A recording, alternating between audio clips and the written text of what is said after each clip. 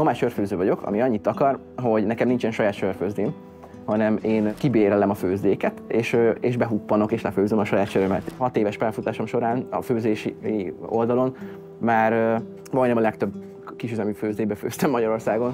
Elég nagy tapasztalatot gyűjtöttem össze, ami szerintem ez a legeslegfontosabb egyébként, hogy ki hogy működik. Tehát beleláttam nagyon sok mindenkinek a működésébe, és azt láttam, hogy mi ott, ami jó, mi az, ami rossz, és ez a tapasztalat az, az ami szerintem sokkal font, ami a legfontosabb az egész szakmában.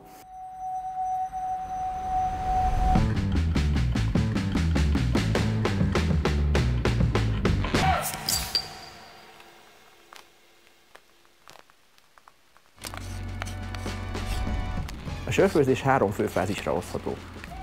Az első a maláta roppantása. A második a sörfőzés maga, ahol különböző eljárásokkal a malátából a cukrokat kioldjuk. A harmadik pedig az erjesztés, ahol az élesztők és más kultúrák hozzáadásával a cukrot megerjesztjük, a sör pedig ízlés szerint ízesítjük.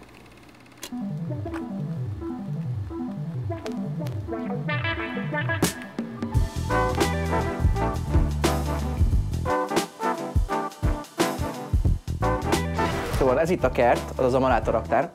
Itt terük a malátákat, amiket most ez pont egy pilzeni, ami meg van bontva.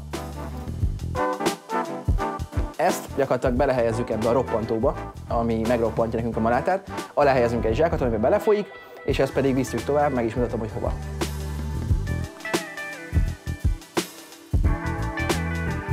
A malátát azt idehozzuk a, a főzőházhoz, Viszont most már egy kicsit előhaladott a főzés, most éppen szűrés van, meg is mutatom, hogy ez hogy néz ki.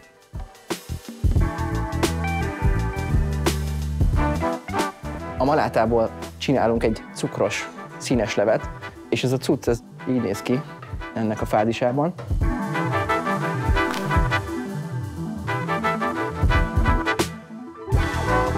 És a lényeg az, hogy a, a szűrés után van a máslás, amikor még ezt, még ezen átmegyünk még egyszer vízzel, és mindent kiszedünk belőle, és a, a, a színlé az átmegy ide a forralóisbe. A Chaplinben, a Biatorban jártam, és ott, ott, ott kóstoltam először a, a, egy, egy ipát, ami olyan volt, mint a, mint a, amikor egész nap napszemekben vagy, és már megszoktad, és bemész egy ilyen, egy ilyen sötét helyre, és leveszed, és így megvilágosodsz. És ez a, ez a flash, de ez az, amiért amúgy élni kell.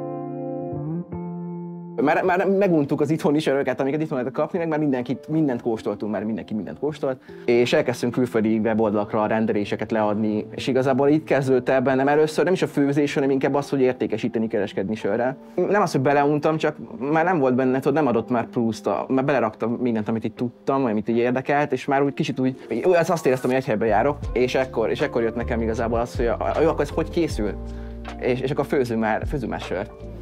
A meleg oldal befejezése után, ami ugye megforrottuk a sört és lehűtöttük, ezután áttesszük, áttesszük az egész sörlevet, átszivattyúzzuk egy erjesztőtartályba, ami, amiben egyrészt beélesztőzzük, tehát kap, megkapja a kultúrát, és, és, végig, és elkezdődik az eredési folyamat. Van két fázisa az eredésnek, van a főeredés, ami 5-6 napig tart a sör behelyezése után. Ezután pedig következik a másoderedés, ami egyébként fontos, például az én söreim esetében, akkor, ekkor kapja meg a gyümölcsöket, különböző olyan addíciókat, amiket, mert minél később adott hozzá, annál jobban tud kapcsolódni a sörnek a fehérjéhez, meg mindenéhez, és én ezért szoktam mindig a másodlagos eredés során hozzáadni dolgokat, és ez pont az egyik, egyik új söröm, de mindjárt mutatok is nektek egy kis kóstit. Az első főzet az, az a piros filmoskört és rozmaringos sour ale volt, ami igazából egy samanitos sör volt, vilmoskörtével és rozmaringgal dúsítva úgymond, vagy, vagy hogy mondjam ezt, infúzionálva. Annak a bemutatója itt a körúton volt egy, egy ilyen nagyobb, nagyobb helyen, utána nem is tudom, azt hiszem édesanyámmal sétáltam valahogy itt a városba másnap, vagy rá egy-két nappal később.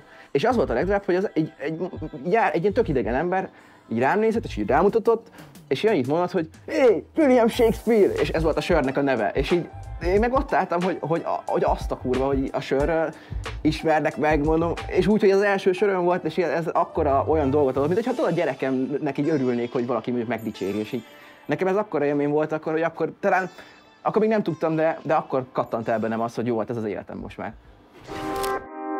Mikor még tényleg vannak olyan időpontok, amikor nem érdemes úgymond kóstolni a sört, a főerdés során, amikor egyszerűen olyan, és ez, ez a legjobb szó rá, hogy fiszkósör az alap, amit még tényleg nem, nem fogsz érezni belőle semmi, De alapvetően mindig jó megvámolni egy tartályt, szóval, szóval minden esetben szoktunk mindig mintázni. A sörfőzés az 70% türelem, 30% minden más. Tehát nem szabad sietetni semmit, mert nem lesz jó vége. Egy jó sörfőzőnek, egy jó, egy jó sörfőzdének az az ismérve ebben a szakmában, hogyha te sörfőző legyen önző, magának főzz a sört, mert ha nem magadnak, ha nem, ha nem magadnak főzöd, akkor nem lesz, nem lesz lelke. Nekem az én fejemben bármilyenféle alkohol kapcsolódik a zenéhez. Biztos, hogy nem tudok úgy megnézni, hogy nem hallgatok közben valamit.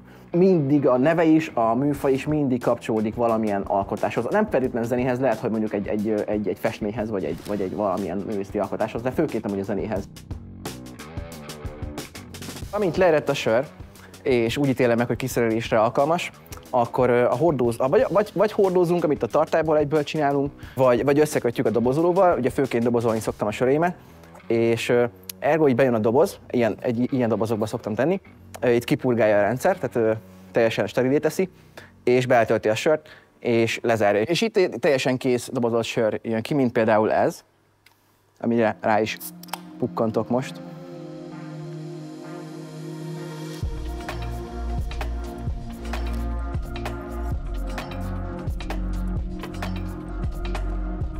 Csapolt és a kontra palaszkos vagy, vagy dobozos sörök között. A különbség az, főként az, hogy, hogy ezek hordóban vannak, sokkal uh, konzisztensebb a sör lé. Én azt vettem észre, amikor főzök saját söröket, hogy, hogy van, ami például sokkal jobban összeáll dob, dobozban, viszont van olyan, ami meg egyszerűen sokkal, sokkal jobb, sokkal jobb hordóba csapoltan kérni. És ez amúgy, nem tudom, még én sem találtam meg amúgy, hogy melyik mi, miért van. Ha megkérdezi valaki, hogy melyik sör áll melyik saját alkotásom áll a legközelebb a szívemhez, akkor őt mondanám, és ez durva, mert amúgy mindig azt mondom, hogy az olyan, mint a saját gyerekeim lennének, és nem, nem tudok választani közülük. De ő azért is, azért is nevezném ki, mert ezt tavaly, tavaly februárban ö, csináltam. Egyébként ez egy málnás, sáfrányos ö, góza volt, ami egy, egy ilyen sós, savanyított sörstílus. És amikor ezt már kitaláltam magát a sört, akkor még a sáfrány nem volt benne, csak az, hogy egy málnás valamilyen gózét akarok csinálni, és akkor, ta, akkor hívott fel nagyapám, hogy a nagyomám sztrókot kapott, és hál' Isten jól van, mert teljesen egészséges most már. És sör maga azért is, azért is kapott sáfrány, mert mindig olyan parfümöt használ, ami kicsit ilyen, ilyen arab, arab, ilyen illatos ilyen, tö, ilyen töményebb illatokat szokott használni. Címkének meg az egésznek az a, az a különlegessége, meg ezért is áll közel a szívemhez. Szegénynek felkeze le, lebénult ideiglenesen a, a stroke után, és újra kellett tanulnia rajzolni, gyakorlatokat kellett végezni, és olyan cuki minden, amikor mentünk hozzá a látogatóba, hogy szégyelte és eldugta a kis noteszét, és, és, és megtaláltam, és beszkenneltem, és a címkén ezek az ő kis kézírása, a, a kis körből nagy kör, meg, meg a nevét leírja így folyamatosan, és így ez, ezekkel tűzeltem össze. Nekem az a legjobb feeling az egészben, amikor megjön az iklet, megjön valami olyan, amiből utána tényleg ilyen két napon keresztül kis lehet robbantani a, a fejemből azra vagyok a leghálásabb, hogy olyan embereket ismertem meg az egész szakmán belül, hogy tényleg egy kis család.